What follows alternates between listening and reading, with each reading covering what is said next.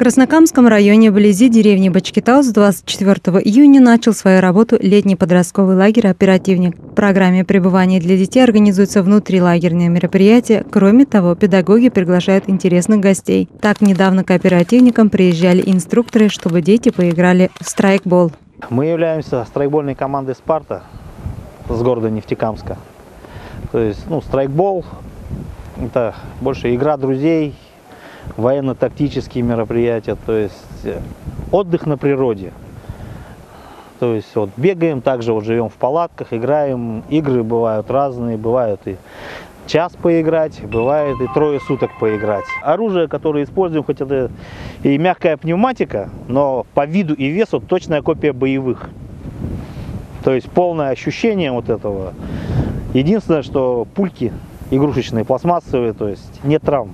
Дети с неподдельным интересом задавали самые разнообразные вопросы организаторам игры. Команда из восьми человек по очереди отправлялись на поле. Тактику выбирает сообща. Кто-то из товарищей, затаив дыхание, ждет нападения, кто-то, наоборот, отчаянно идет в атаку. Мне нравится, что здесь ну, тренируют тебя с утра до ночи. Могут даже ночь поднять, там, часов три. Тут проходят ну, ночные нападения, мне это тоже очень нравится можно побегать по полю, по всему. Никто не остановит. Каждый день разные игры. Каждый, ну, конкурсы каждый день. Там придумывать сценки надо. И командная работа. Все сплочаются так, дружат. Кормят вообще отлично. шесть или пять раз в день. Там вот мы пообедали, тихий час, как проснулись, опять кушаем. Страйкбол второй год подряд. В том году меня не было, вот первый раз сейчас очень понравилось. Мерзли пальцы, а сейчас побегал, согрелись даже пальцы. Тяжелая, как настоящая, ну, стреляет маленькими пульками. Отдачи нет, там попадает вроде не больно.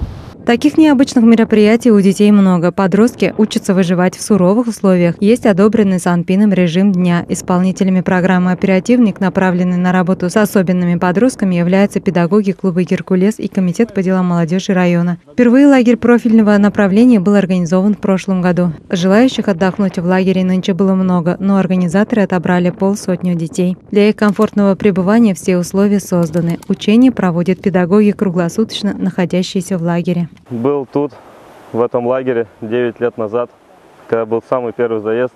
Еще он назывался «Юный спецназовец». Ну, был я в двух заездах. Так, потом я ушел в армию. После армии вернулся вот, Рим Вагизовна позвонила, попросила поучаствовать. Я с радостью, я только и с детьми, и все-таки лагерь тот же. Все тот же, обстановка хорошая коллектив дружный, дети веселые, активные. Все отдыхаем, все погода. хорошо, погода. Живем по уставу, да, также подъем, те же команды, те же строя, все, все, все то же самое, как в армии. Профильный военно-патриотический лагерь «Оперативник» будет работать до 7 июля. Большую помощь в организации смены оказывает администрация района, комитет по делам молодежи, отдел полиции, центральная районная больница. Также ведется совместная работа с отделами образования, культуры, организациями коммунальных, тепловые сети, Краснокамским лесхозом, администрациями сельских поселений и индивидуальными предпринимателями.